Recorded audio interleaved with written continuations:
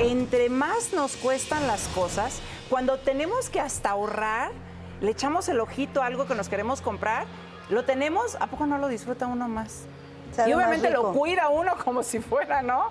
Para que no se acabe. Hasta una relación, Rocío. Además. Cuando nos cuesta trabajo la conquista, se saborea mucho más el momento en que la relación se da. Que si es demasiado fácil, dejamos de apreciarlo. Así es. Pero bueno, doña María, ya usted trae la bronca ahí encima y lo que menos quiero y, o queremos es que se sienta peor de lo que ya se siente. ¿Por qué? Porque primero, se queda sin marido. Obviamente eh, fue algo eh, que sucedió de la noche a la mañana. Y nunca pensó usted en tener que criar a su hija, usted solita prácticamente, ¿no? Afortunadamente le echa la mano su, su hermana. hermana y lo que quiera, pero la niña empezó desde los 10 años a reclamarle a usted acerca de los regalos, por ejemplo, porque tengo un dato que, Dios mío, o sea, a los 10 años yo creo que no estás ni consciente exactamente de lo que está pasando y mucho menos que ya no vas a ver a tu papá o a tu mamá, ¿no? Que trascendieron. Pero eso de que lo que más le dolía a Ángel en ese momento era que ya nadie le iba a dar tantos regalos como su papá. Así es. ¿Sí es Así cierto? Sí, así me dijo. Así se lo dijo tal y Sí, cual. porque yo llegué y le avisé a mi suegra y a mi cuñado que había fallecido mi marido y que sí, es, sí era él. Y fui a acercarme a la niña y le digo, mamita, papito ya se fue al cielo, está descansando, mi amor. Me abrazó y me dijo, ¿y ahora quién me va a comprar mis cosas? ¿Quién me va a comprar mi muñeca? Mis juguetes, mis regalos, mis premios, mamá. Le dije, no te preocupes, mi amor, yo lo voy a hacer. Y ella con eso me, me tiene, eh, constantemente me dice, tú me prometiste el día que murió mi papá que tú me a Hasta dar". ahora, a los 25 años de Hasta edad. ahora.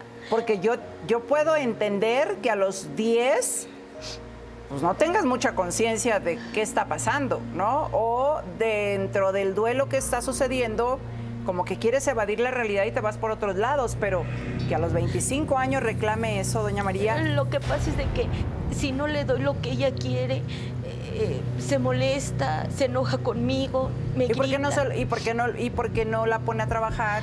No Porque quiere. Ella dice que eh, como no le pagué la universidad que ella quería, que era de paga, este, no quiere estudiar, no quiere trabajar, no quiere hacer nada hasta que yo no lo haga.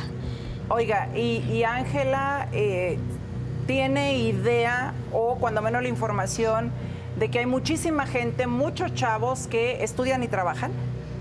Pues sí se lo ha dicho a mi hermana, pero ella no quiere hacerme, hacerle caso y, y yo la verdad no me siento con la misma fuerza para decirle eso porque lo primero que me dice, si hubiera vivido mi papá, no estaría yo así.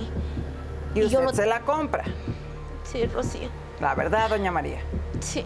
O sea, usted es débil de carácter ante todo mundo o solamente con ella. Pues yo siento que nada más con ella. O sea, le tiene tomada la medida, como decimos por ahí. Pues a lo mejor sí. Es que es mi niña. Es mi niña. ¿Y qué puedo hacer? Mucho. He querido hacer muchas cosas, pero. ay, no puedo. No puedo, Rocío. A No ver, doña María, primero métase en la cabeza que sí, pues sí se puede. Y es más, lo tiene que hacer. Y si tanto es el amor que le tiene a su hija, ya se tardó, lo debe hacer y en calidad de urgente. Porque si no, entonces, ¿qué va a hacer de su hija después? Si usted llegara a faltar, ¿qué va a pasar con su hija? No sabe hacer nada, no estudió nada más que hasta la prepa.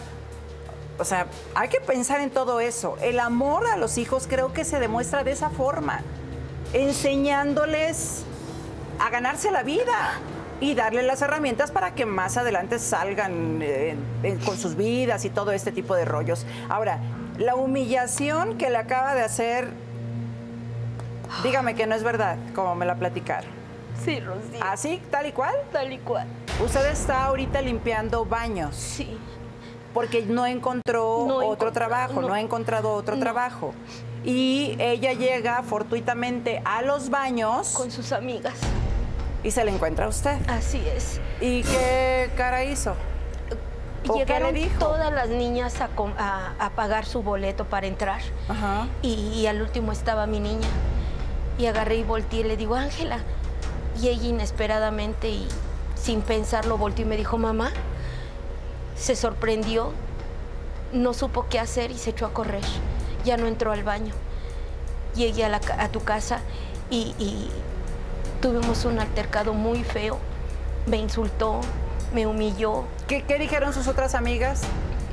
Nada más se le quedaron viendo, entraron al baño, pero me ignoraron a mí.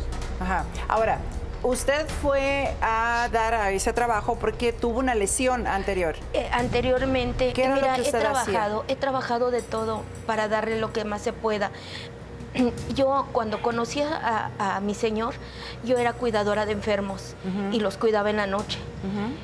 Eh, después de dos años que, de relación, eh, nos juntamos.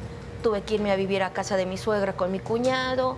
eh, duramos dos años en la situación de estar unidos cuando, sal- cuando salí embarazada de la niña. De ahí No, pero, pero yo digo, antes de usted dedicarse a, eh, a- a limpiar los baños, que es el trabajo estuve que tiene trabajando en una obra porque un vecino... y ahí se lesionó. Sí, se me cayó un costal de, de cascajo y me lastimé mi- mis dedos y no los puedo mover. Tengo que usar bastón, si no, no puedo caminar. ¿De los pies? Sí, de Ah, los por eso es que entró usted ahorita con un Sí, bastón. porque no puedo caminar bien. Y aún estando consciente su hija de todo esto que ha ocurrido, ¿sigue portándose, comportándose de esa forma? Sí, porque dice que yo soy la que tengo la obligación de, de- de seguir manteniéndolo. Ay, pues si supiera que es al revés. A ver, producción. ¿Pasamos a Ángela? Desde que mi padre faltó, comenzaron mis problemas.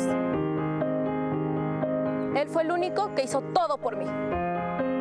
Mi madre no me quiere lo suficiente porque no ha sabido mantenerme bien. Me avergüenza que una mujer como ella sea mi madre.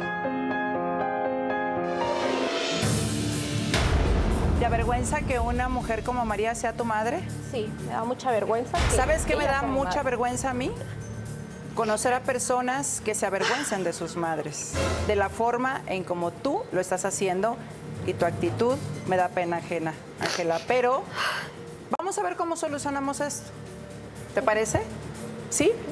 Legal y psicológicamente tenemos que solucionar esto porque si no, ¿quién tendría que mantener a quién? Yo creo que más bien es Ángela, a la mamá